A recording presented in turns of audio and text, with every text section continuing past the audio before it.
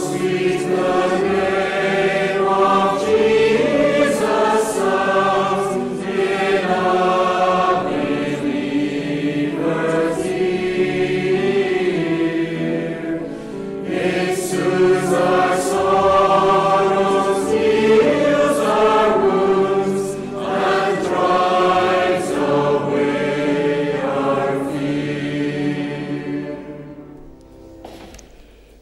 friends. Very good to see you all here. We'll be starting our service in a couple of minutes' time, but uh, let's take the next uh, couple of minutes to pray and be quiet and prepare to sing and to hear the word of the Lord.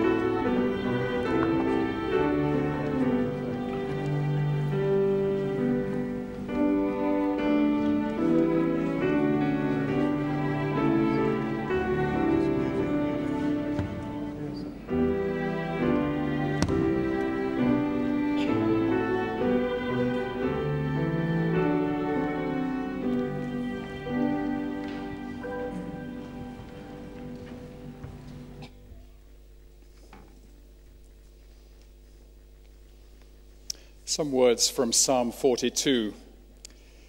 Why are you cast down, O my soul, and why are you in turmoil within me? Hope in God, for I shall again praise him, my salvation and my God. Well, we're going to sing now a version of Psalm 42, which you'll see on the screens as a deer pants for water, so I long for you, Lord.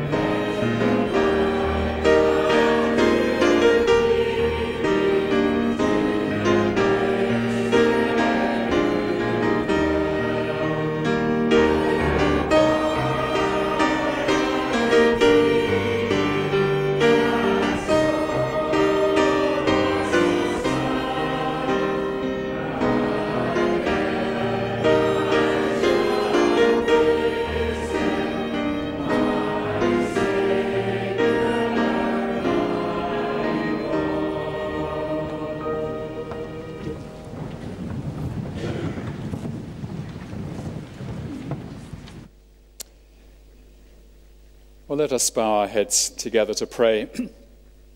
the Psalms probe our humanity, our feelings, our view of life. And yet, the Word of God is the rock beneath our feet. We've just been singing about the pain and grief that we sometimes experience feeling far from God. And let me read some words from Romans chapter 8 to help us to pray as we think about these things. The Apostle Paul writes this For we know that the whole creation has been groaning together in the pains of childbirth until now. And not only the creation, but we ourselves, who have the first fruits of the Spirit, Christian people, groan inwardly as we wait eagerly for adoption as sons, the redemption of our bodies. For in this hope we were saved. Now, hope that is seen is not hope, for who hopes for what he sees? But if we hope for what we do not see, we wait for it with patience. Dear God, our Father, we thank you so much that we can turn to Scripture to hear the truth and to be reoriented to what is true about you and about ourselves. Indeed, the world, as we look around it, does fill our hearts quite often with depression and a sense of sadness and mourning, and our souls do feel cast down. And quite often, dear Father, as you know so well, we are filled with worries and sometimes depression fears about society and where it's all going. And just as the psalmist felt the pressure of his enemies taunting him and saying, Where is your God? So we sometimes feel that same pressure. And yet we know, and the apostle teaches us this so wonderfully, that your sovereign and sure purposes are indeed being worked out. We're part of this creation that is groaning and even we who are Christians, who have the first fruits of the Spirit, we groan inwardly.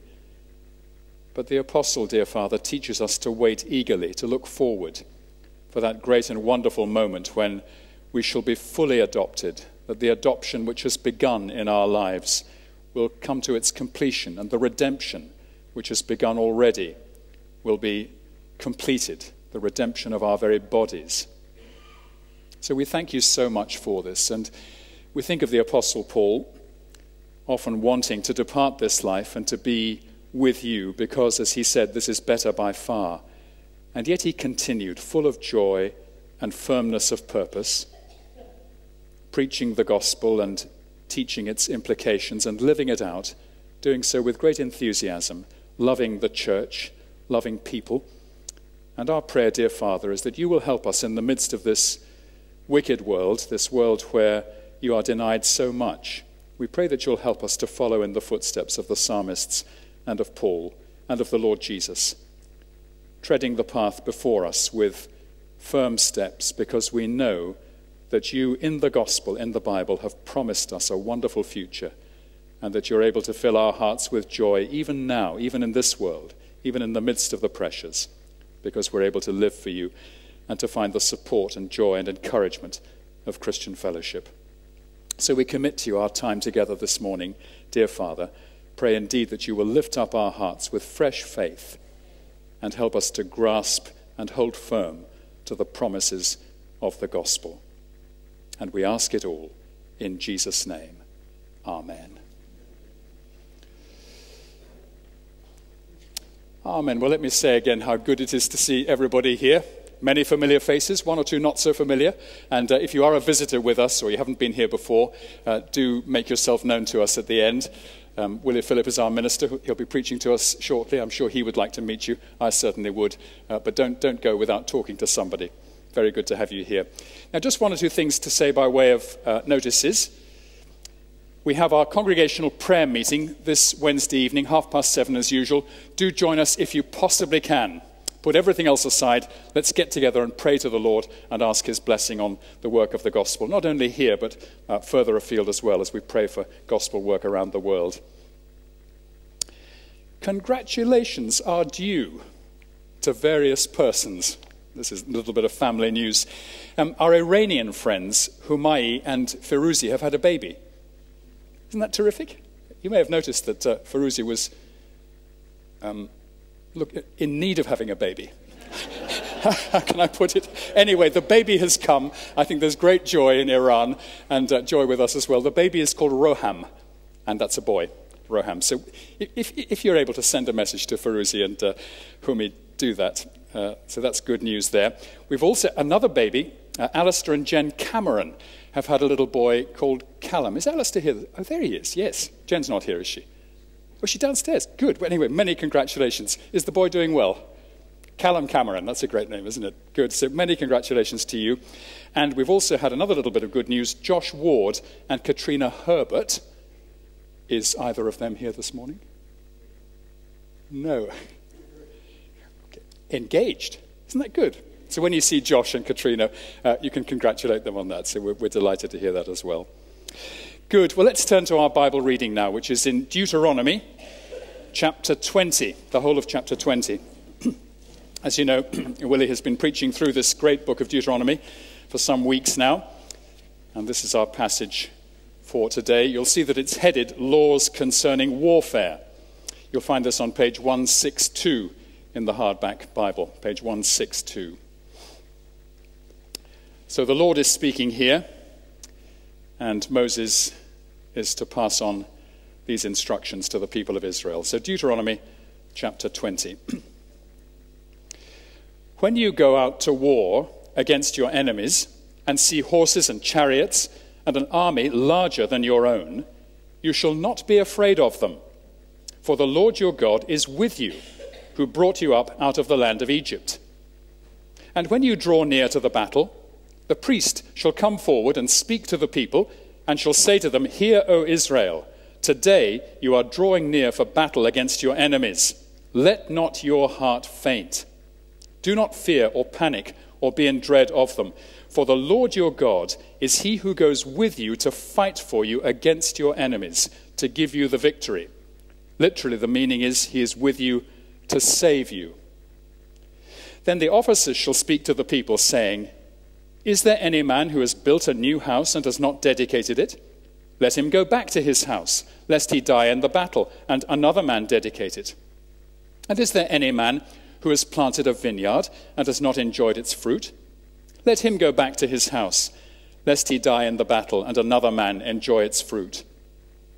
And is there any man who has betrothed a wife and has not taken her? Let him go back to his house, lest he die in the battle, and another man take her. And the officers shall speak further to the people and say, Is there any man who is fearful and faint hearted? Let him go back to his house, lest he make the heart of his fellows melt like his own. And when the officers have finished speaking to the people, then commanders shall be appointed at the head of the people. When you draw near to a city to fight against it, offer terms of peace to it. And if it responds to you peaceably, and it opens to you, then all the people who are found in it shall do forced labor for you and shall serve you. But if it makes no peace with you, but makes war against you, then you shall besiege it. And when the Lord your God gives it into your hand, you shall put all its males to the sword. But the women and the little ones, the livestock, and everything else in the city, all its spoil, you shall take as plunder for yourselves. And you shall enjoy the spoil of your enemies, which the Lord your God has given you. Thus you shall do to all the cities that are very far from you, which are not cities of the nations here. But in the cities of these peoples that the Lord your God is giving you for an inheritance, you shall save alive nothing that breathes, but you shall devote them to complete destruction the Hittites and the Amorites, the Canaanites and the Perizzites, the Hivites and the Jebusites, as the Lord your God has commanded that they may not teach you to do according to all their abominable practices that they have done for their gods, and so you sin against the Lord your God. When you besiege a city for a long time, making war against it in order to take it, you shall not destroy its trees by wielding an axe against them. You may eat from them, but you shall not cut them down. Are the trees in the field human, that they should be besieged by you? Only the trees that you know are not trees for food you may destroy and cut down, that you may build siege works against the city that makes war with you until it falls. Amen. This is the word of the Lord, and may it be a blessing to us this morning. Well, now we're going to sing together again. Let's turn to number 768, 768 in our hymn books. Through all the changing scenes of life, in trouble and in joy, the praises of my God shall still my heart and tongue employ. Number 768.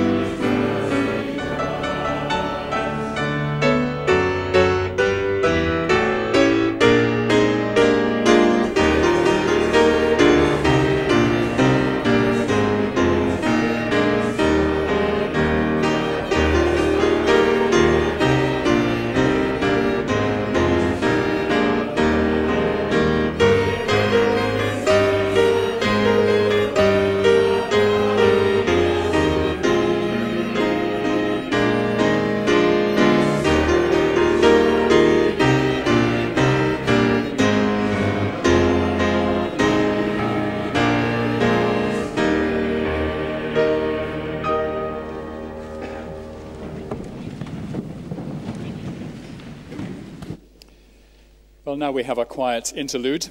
The musicians will play, and our offerings for the gospel work will be taken up.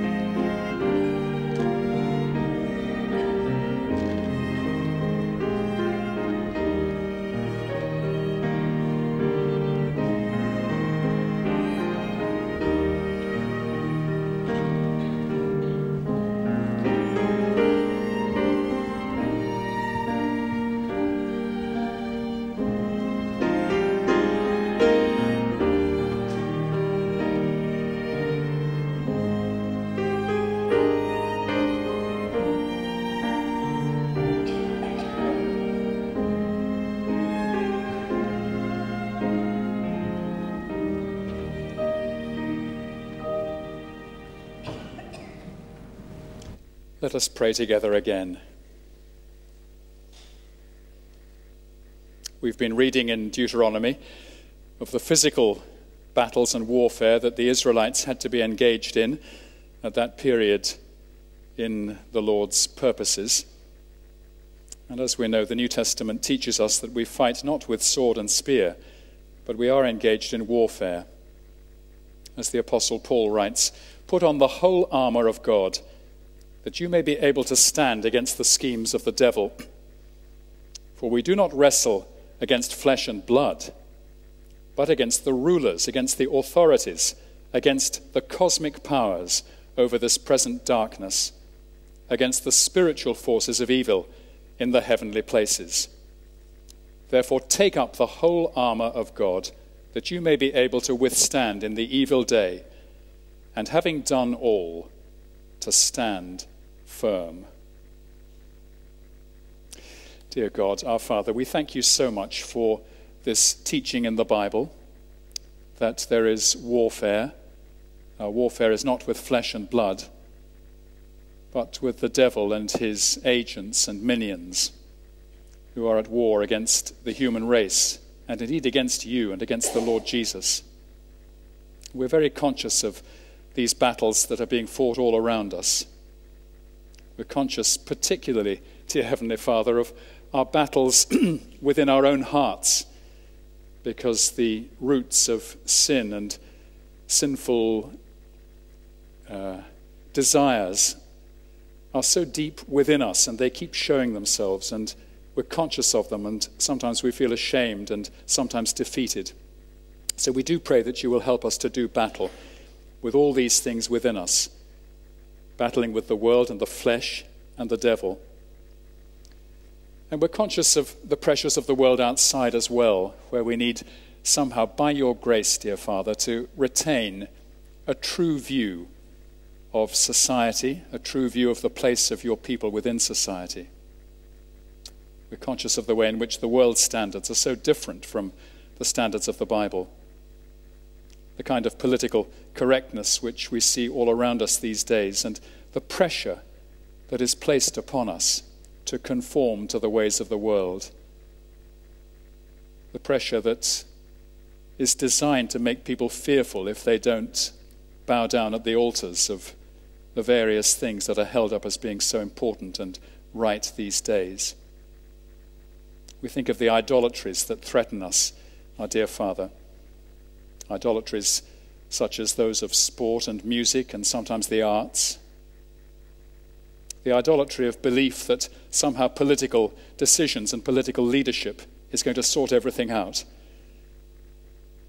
On the contrary, dear Father, we know that it's you and you only who guide the nations ultimately.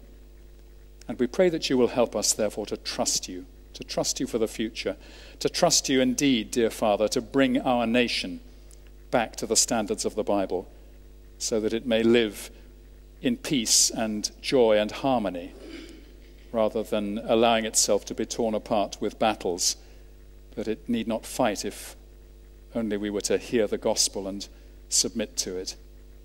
So, dear Father, please help us in our own day, our own generation, to be willing soldiers in your army, to take up the weapons, the full armor of God which the Bible teaches us are readily available. Help us to be unashamed, to be soldiers of Christ, soldiers of the cross. And help us by our lives and by our words to do battle in your grace and power, so that having done all, we may be able at the end to stand firm. And please teach us again, dear Father, through your word this morning. As we turn to Deuteronomy in a moment's time, we pray that you will bring light and understanding to our hearts and a joyful commitment to your service. And we ask it all in Jesus' name. Amen. Well, before we have the sermon today, we're going to sing together number 519, number 519. This is a simple prayer to the Holy Spirit to rest upon us now and to show us the Savior and to reveal his love to us. Number 519 Come, Holy Spirit, like a dove descending.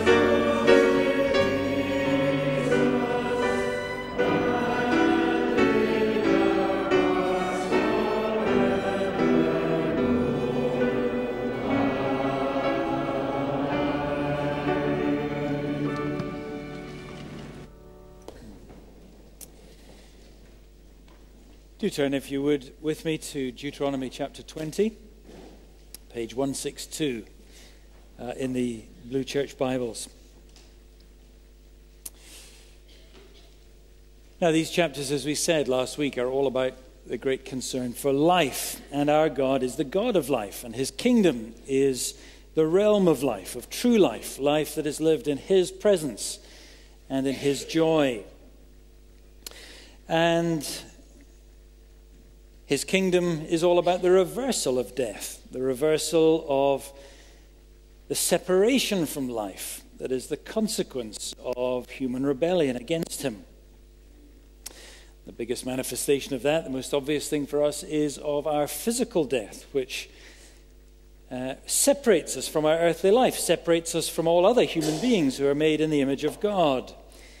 And of course, that itself is but a shadow of the everlasting reality of the separation from the life of God for all eternity that is the consequence of our sin. So God hates death because of that. But the paradox, you see, is that God is at war with death, seeking to reverse the curse of death upon man, while the world is at war against him. The world is fighting against the advance of God's kingdom of life, which is the only hope for reversal of death in this world, has been from the very beginning. Because, as the Bible tells us, the devil who wields the power of death over man in his sin has blinded the eyes of human beings, blinded us to the reality, holding them in slavery as enemies of God instead of being seekers of God. And so, you see, for God's kingdom people, for those of us who have had their eyes opened to his life, who have embraced his life, we find that that life now involves us also in a life of warfare. We face many battles for the kingdom as it advances against the forces of sin and of evil and of death in this world. And that is so in every age for God's people.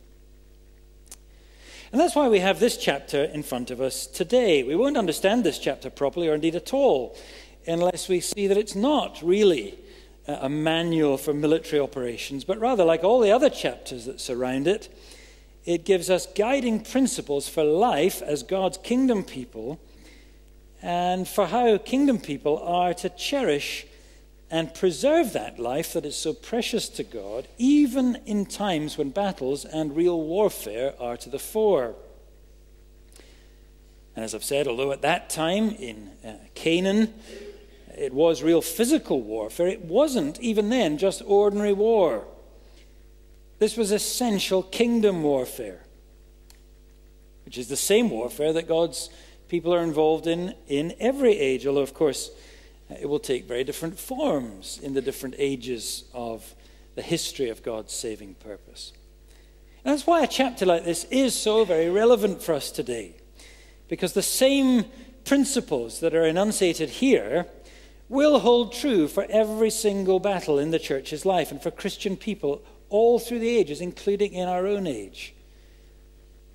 Now, weapons, of course, are very different. The New Testament is plain about that. The weapons of our warfare are not of the flesh, says Paul.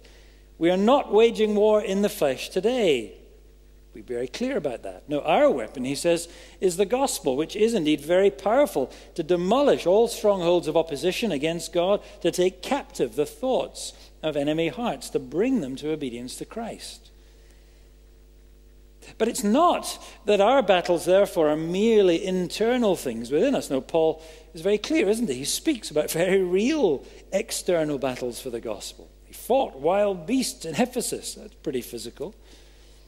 But of course, later he writes to the Ephesians, doesn't he, and talks about those battles, but says to them that behind every one of these earthly battles is the great heavenly battle the struggle that is the battle in the heavenly realms with the cosmic forces which are over this present age of darkness.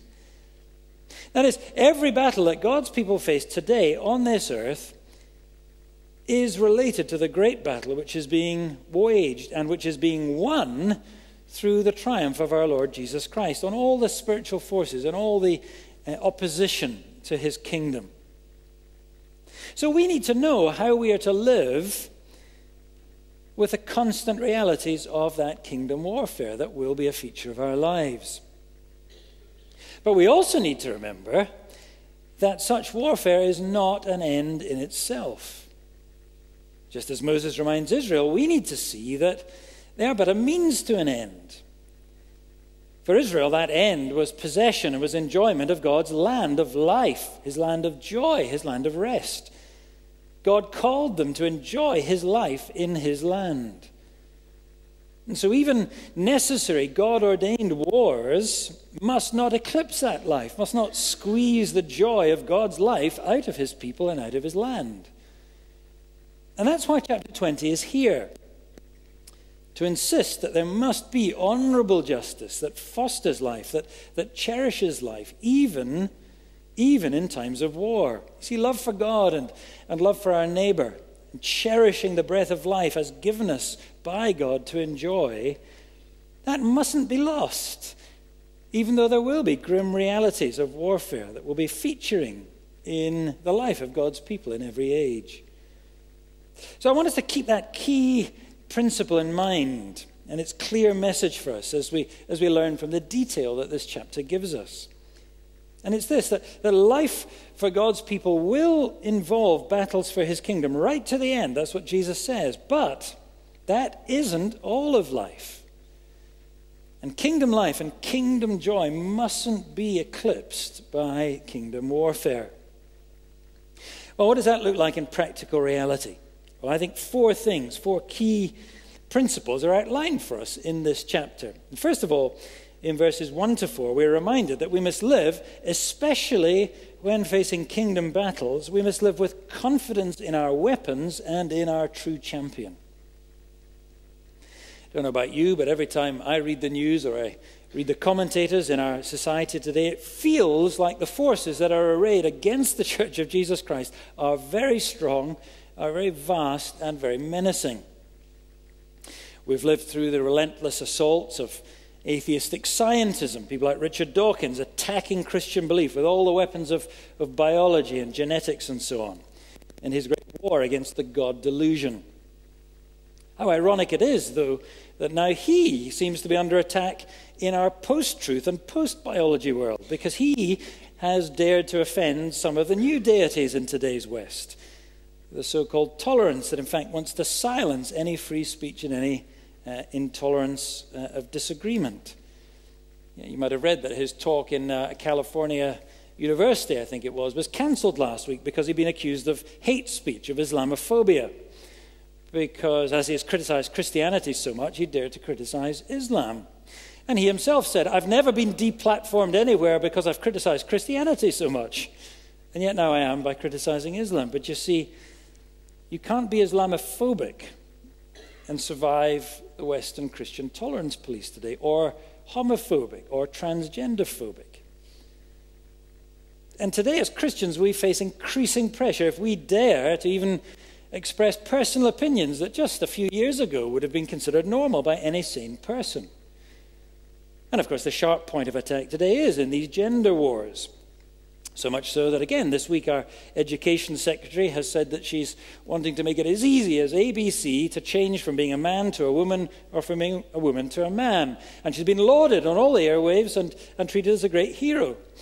Well, at the same time, one of her fellow conservatives came on the radio and said she personally disagreed with that view, was shouted down as a bigot and told she ought to resign her position. How ironic it is that Professor Dawkins' famous selfish gene, the DNA that is supposed to rule all things and remove the need for God, has now been told, no, sorry, DNA, you can't be so selfish as to dare to say that your chromosomes actually decide who is male and who is female. We're not having that. We know better. Who's fighting against science now? It's not the church, is it? How ironic.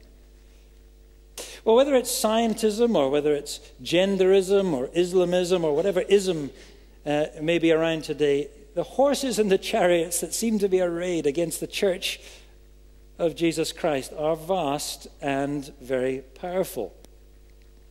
And very often we feel very feeble, don't we? We feel a very tiny minority. If that is, we calculate things in merely human terms. In human terms, the odds must surely be stacked very, very heavily against the survival of the Christian church today. Isn't that so? But of course, the odds are not merely human, are they? Look at verse 1. You shall not be afraid, says Moses, for the Lord your God is with you. And he is the one great circumstance that changes all other apparent circumstances. He brought you out of Egypt, says Moses, with all their horses and chariots, and Egypt was the superpower of that day. And so he can defend you against any powers that you might face ever, ever again. That's the point. It was the Lord, it was his powerful word that was the real chariot and horseman of Israel. It's the phrase that Elisha used. Remember when Elijah was taken up to heaven? The chariots and horsemen of Israel were departing, as he thought, because God's man and who, who spoke God's word, that was the bulwark of power and authority against every enemy in Israel. That's why Psalm 20 says, Some trust in chariots and horsemen, but we trust in the name of the Lord our God.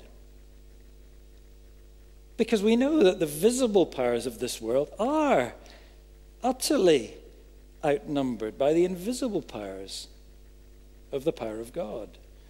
You remember that other Elisha story when Elisha's servant is so terrified at the huge armies of Assyria all surrounding the house until the prophet prays, Lord, open his eyes.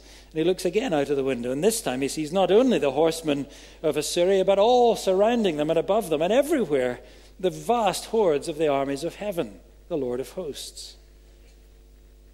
And that's the message here, isn't it? And we must live, especially when we are facing daunting battles against worldly powers, we must live with confidence in our true weapons and in our true champion.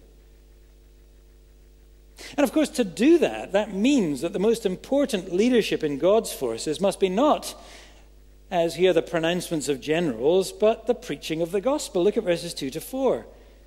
There's no military sense in that, is there? No common sense in the lead being taken by the priests. The priests? What can they do? But the priests, remember, are the teachers of the true Word of God. Because it's only the Word of God that can truly remind his people of where their true strength and where their true confidence is. In the Lord, he says, who has gone with you to fight for you against your enemies. Literally, as Edward said, to save you. Our God is a God who is with us to save. Does that sound familiar? He is Emmanuel, with us to save. And with that knowledge, you see, everything is different. Without it, verse 3, it's right. Our hearts would faint, we would panic. But you see, with this glorious gospel truth, we need not fear. We can be confident. We can be bold in the face of the greatest attack. And that's why the New Testament, you see, tells us that we need exactly the same thing as the people here. We need the same constant briefing and rebriefing for battle from the truth of the gospel, from our great God, Emmanuel, to remind us that He is with us to save us from our sins, that He is with us even to the end of the age, says Jesus. Because every week we go out to war, don't we? For Christ and His kingdom. Every Monday morning, tomorrow morning.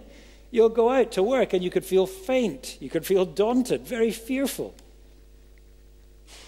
How much we need this reassurance, week by week, day by day, proclaimed from the Word of God to remind us where lies our true confidence and our true weapons. That's why the New Testament tells us we mustn't give up meeting together day by day and week by week as Christians to receive that strengthening. That was why Paul wrote to the Ephesians and, and urged them to constantly rearm themselves with the armor that comes from the knowledge of the gospel. That alone is what will extinguish the fiery darts of the evil one. That's what will equip you for the battles that you face as you take again the word of God, the gospel of Christ, wielded with prayer, knowing that therein is the power for his kingdom to advance, knowing that therein is the way that we shall bring every thought captive to Christ. There's the victory that overcomes the world, says the Apostle John, in our faith. Our faith in the great God who is our champion and who is with us to save. And that faith is nurtured in us only as, just like Israel of old, we will hear repeatedly of his greatness and of his nearness to give us victory for his kingdom and for his people. So we need to keep hearing that again and again from God's word so that we will live, especially when we face real kingdom battles, and we will, so that we will live with full confidence in our true weapons and in our true champion. So that's the first thing. But second, verses 5 to 10, I think, tell us that we must live, even when fighting kingdom battles, we must live with compassion and also realism. In chapter 28, one of the curses listed for uh, disobedience to God and rebellion against God is this You shall betroth a wife, but another man will ravish her.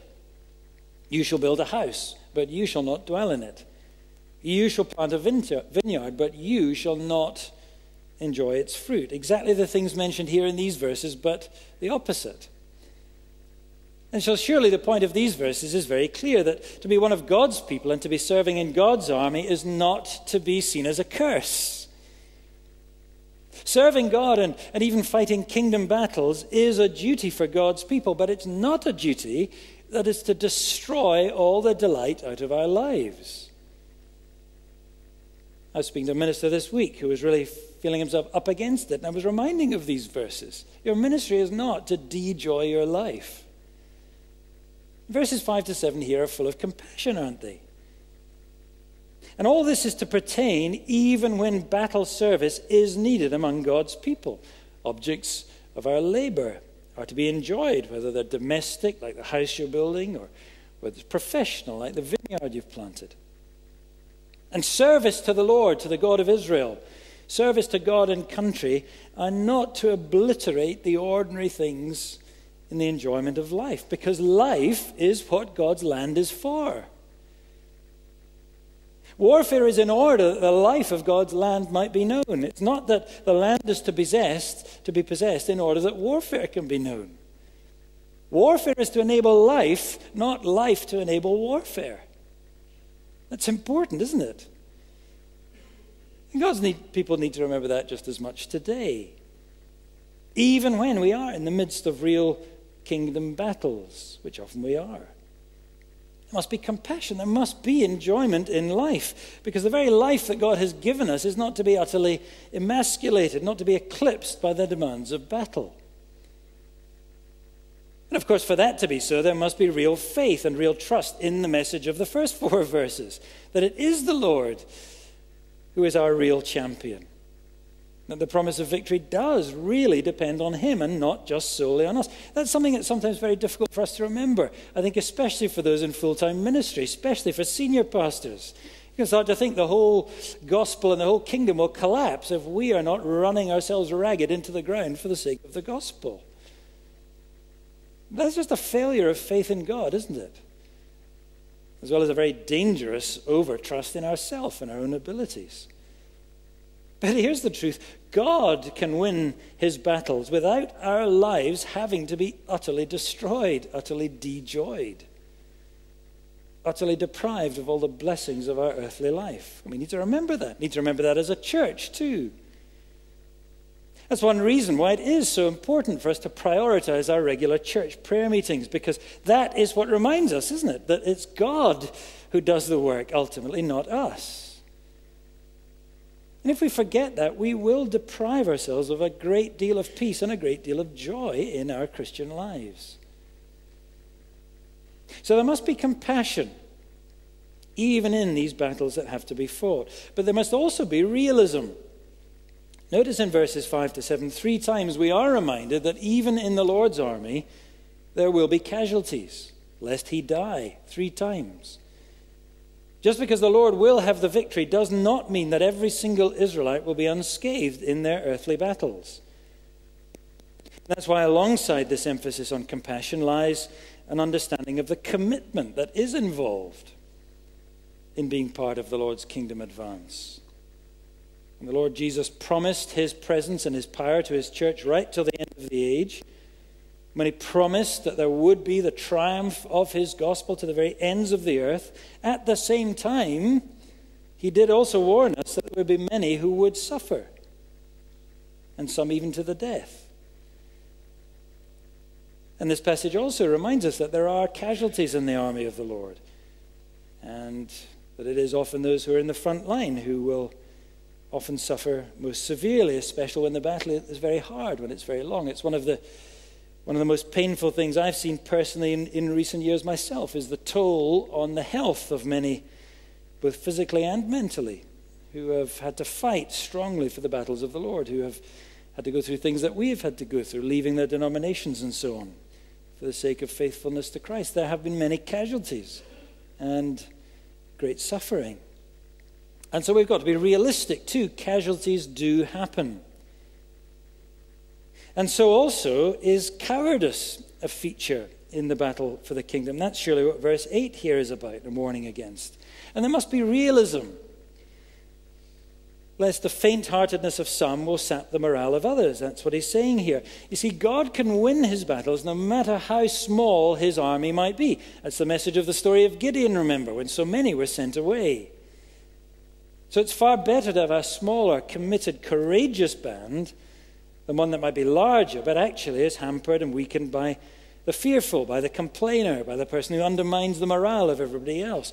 That is why, sadly, some of the greatest advances in the life of a church is when there is a one or two blessed disjunctions, when one or two people like that actually leave the church.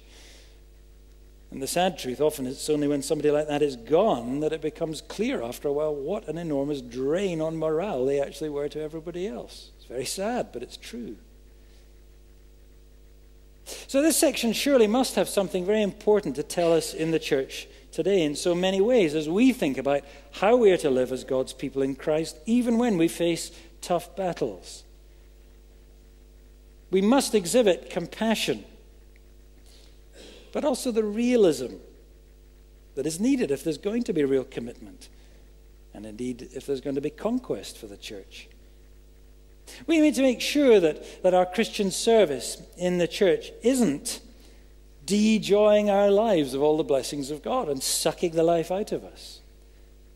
Marriages matter. That's what these verses say, for one thing, isn't it? We should remember that.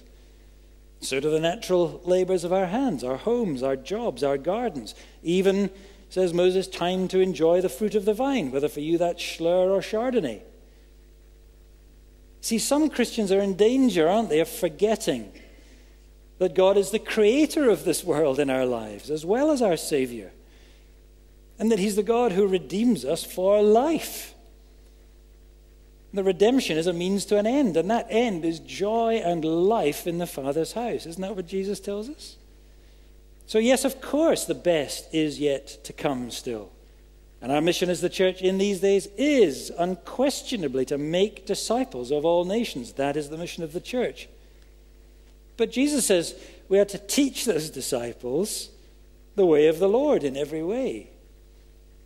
And he is the Lord, after all, who said, I have come that they might have life in abundance, not misery and lack of joy and a shriveled life. So it would be terrible, wouldn't it, if we showed the world a picture of kingdom life that was one of crushed life, joyless life, of a life that is devoid of the very fullness of life that Jesus tells us to proclaim. But on the other hand, there must be realism. We do need also to recognize that if there is too much fearfulness, too much faint heartedness about service in the kingdom, too little willingness to fight real battles, perhaps because of divided loyalties, perhaps because of too much indulgence in life, then likewise the battle will never be fought. The New Testament is equally clear on that too, isn't it? Paul says to Timothy in 2 Timothy 2, a real warning about those who are too engaged in the affairs of life, that they can't fight the battle of the Lord. James likewise talks of that double mindedness of those who are too taken up with earthly desires. Jesus himself warns about putting yourself to the plow and then turning back, looking back, because you're too entangled with all these things of life. So there needs to be realism, doesn't there? As well as that compassion and commitment to life.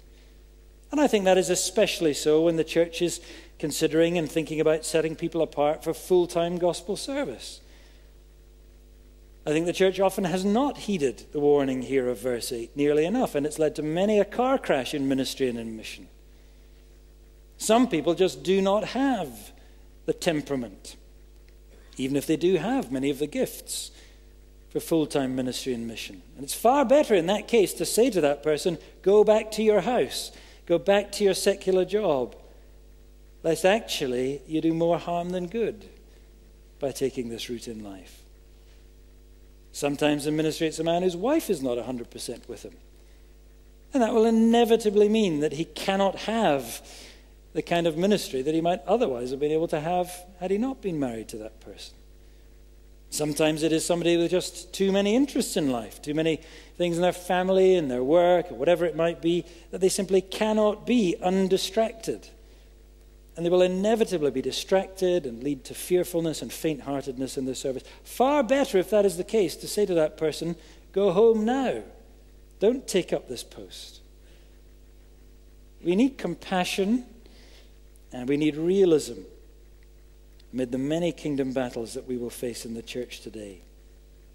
And you see, we can be both compassionate, that is, not needing to destroy our lives, and also realistic, not deluding ourselves about people, because we know that the battle is not ultimately ours, but it is the Lord's, and that it is He who fights and He who gives the victory.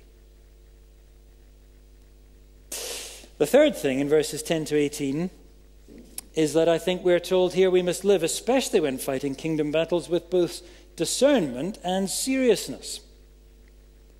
The key thing here, I think, is the clear distinction that's made in verses 15 and 16 between the more distant cities and those of the Canaanite tribes in the land, which the Lord has already said must be totally devoted to destruction. Remember, that's the phrase that speaks particularly of God's final judgment on the utter degradation of the Canaanites with their horrible culture, things like human sacrifice, killing babies, and, and all those awful things. They must be destroyed, says the Lord. And Israel there was specifically and uniquely God's instrument of judgment on earth to do that. But notice again verse 18 here and the realism there. Even God's people, he says, were so prone to be infected by such evil that they needed protection against that temptation. That's another reason why these people had to be cast out. And we need also to take that seriousness about sin as a warning today. If the church isn't clear in that regard, if it allows sin, if it, if it turns a blind eye to sin, then it will surely end up doing great, great damage to the body of Christ. That's why the New Testament so often picks up precisely this language of holy war about sin in the church. Put to death all that is earthly in you, says Paul repeatedly. And so God's people must live with real seriousness about sin, always, in every age. But these verses also exhibit real discernment, real discrimination, don't they? God hates sin, that is plain. But God is also the one who has a burning desire to save sinners. And verses 10 to 14, you see, describe a very different attitude towards these more distant cities, these who are outside the land of promise. To these, the, the advance of Israel, the advance of God's kingdom, is to mean to them an offer of peace, a call to enter into a covenant of peace with Israel and with their God, to come under the protection of the one true God. So, only if that offer is rejected, if they choose to fight on against God, only then are they to fight them and destroy them? And even then, verse 14, there's great restraint, there's great mercy. Do you see? Women and children are not to be killed and raped and so on, they're to be spared. And only the property of the enemies is to be enjoyed as the spoils of war. These things are very worth noting because so often people say, oh, the Old Testament's full of rape and pillage. It's, a, it's an open season on enemies and, and uh, wanton destruction and so on. Not so. This is about as different from the ethics of ISIS today as you could possibly be. Listen to what Christopher uh, Wright says. Without a Geneva Convention, Deuteronomy advocates humane exemptions from combat, requires prior negotiation, prefers non violence, limits treatment of subject populations, allows for killing of male combatants only, demands humane and dignified treatment of female captives, that's chapter 21, as we'll see later, and insists on ecological restraint. It's very important to remember that. It's just the facts of the conquest of Canaan. But even more important is that we remember again that this is not ordinary warfare, this is kingdom warfare. And that is surely the lesson for us in terms of the same battles uh, for the advance of the kingdom today. Our mission, you see, is to offer uh, those far away a covenant of peace through the gospel of Christ, to offer peace, to offer protection under his lordship. That is what acceptance of the gospel means acceptance of God's protection, acceptance to belong and come under the protection of God's people. But equally, of course, rejection does mean ultimately God's judgment. And in the end, persistent rejection, persistent defiance of God, refusal of God, persistent uh, wickedness and living so as to be an abomination to God, that ultimately must mean that people put themselves in the same place as these Canaanite tribes under God's judgment. There comes a time when, when the day of mercy is spent and when only judgment can remain. And we need discernment. Jesus himself speaks plainly, doesn't he? We're not to go on casting our pearls before swine, he says. There's a time, he says, to shake the dust of your feet as a testimony against those who have refused the gospel to the point of utter hardness. As Apostle John tells us that there is a sin that leads to death, when people have hardened themselves repeatedly, persistently against God's offer of peace. That's why he says there comes a time when we're not any longer to pray for such a person. Because God has given them up to the desire of their own heart. They've said to God, We want nothing to do with you, nothing to do with you, go away. And ultimately, the Lord says, Well, you shall have what you've desired. It's a chilling thing to read that, isn't it? It's a very chilling thing to read in Hebrews chapter 6 or Hebrews chapter 10, where the apostle speaks about those who once professed the true faith, who were inside God's professing church, but who have steadfastly departed, steadfastly turned against everything that they once espoused. And the apostle says it is impossible to restore such a one to repentance. Why? Because they've crucified all over again the Son of God to their own harm. Only judgment can await such a one, he says. And we need discernment. We need uh, not naivety, not sentimentality about these things. There are some, according to the Bible, for whom the offer of peace is withdrawn. I believe that pertains especially to those who have once been teachers and leaders in the church of God, who have turned their backs, utterly abandoned the faith that they once believed and taught, and now teach the opposite. There comes a time when those people, their every influence, their every legacy must be removed from the life of the church so that they don't teach others and lead others to go in that terrible path of apostasy which they themselves have trod. So we must live, especially when we're fighting real kingdom battles, with discernment, with real seriousness. But fourthly, and again, just see how balanced God's word is. Fourthly, we must live, even when we are fighting kingdom battles, we must live also with wisdom and with real humanity.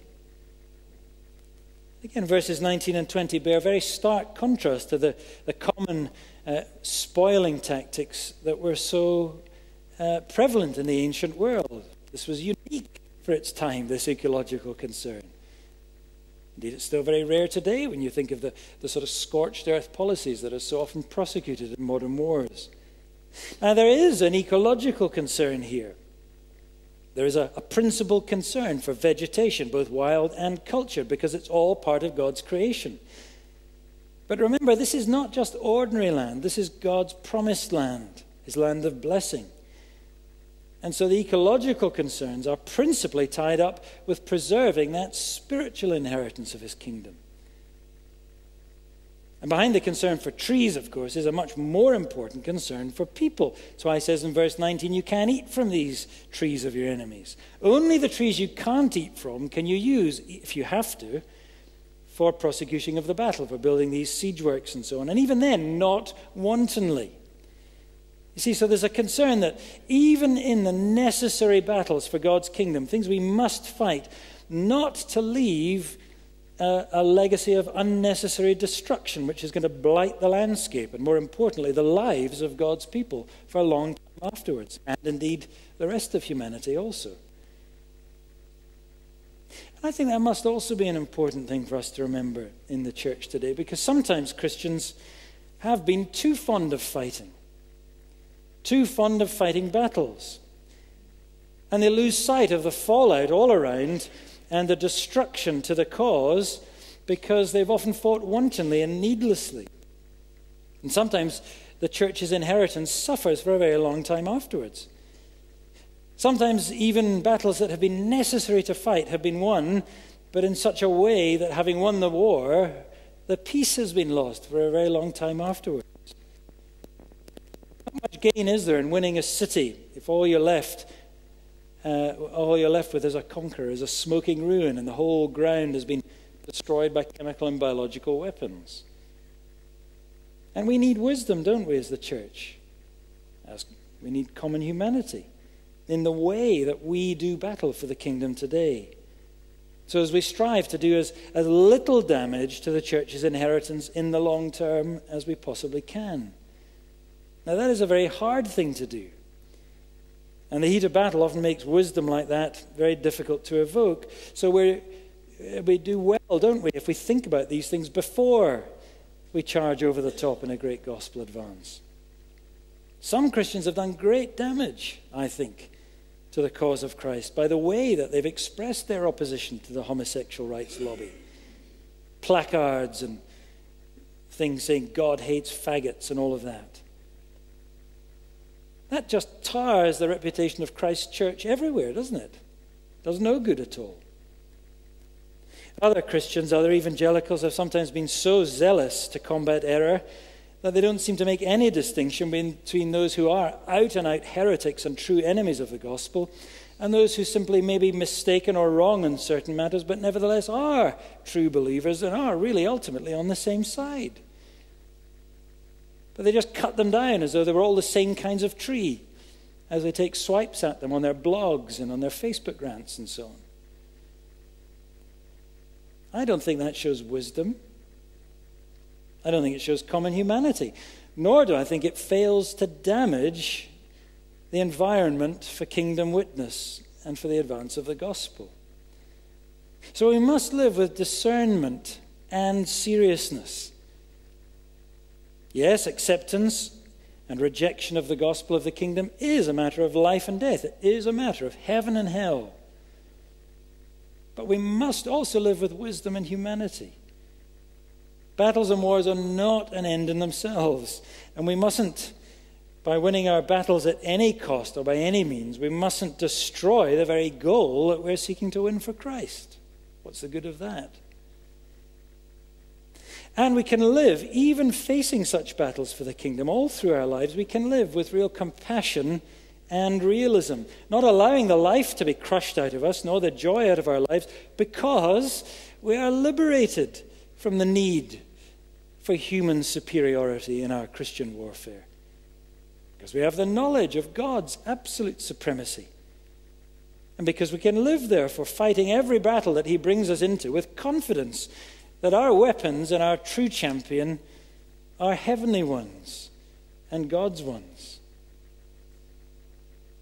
Isn't it wonderful that we, as Christians today, we can look not only to the people of Israel of old, but we can look to our Lord Jesus Christ as the captain of our salvation, as our example on how to fight with utterly honorable justice in a world that is at war with God and with his kingdom.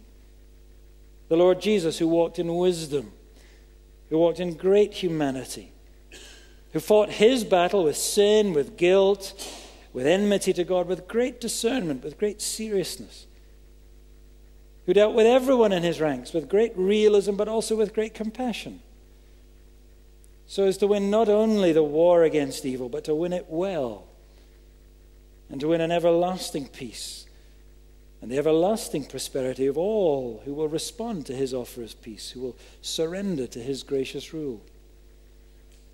The apostle says, Let us consider him who endured from sinners such hostility to himself, so that we may not grow weary or faint hearted in our struggle. but run with endurance the race with its many battles that is set before us, and with honorable justice, with rightness, even in a world that is still at war with God and with his kingdom and with his people and will be until the very end.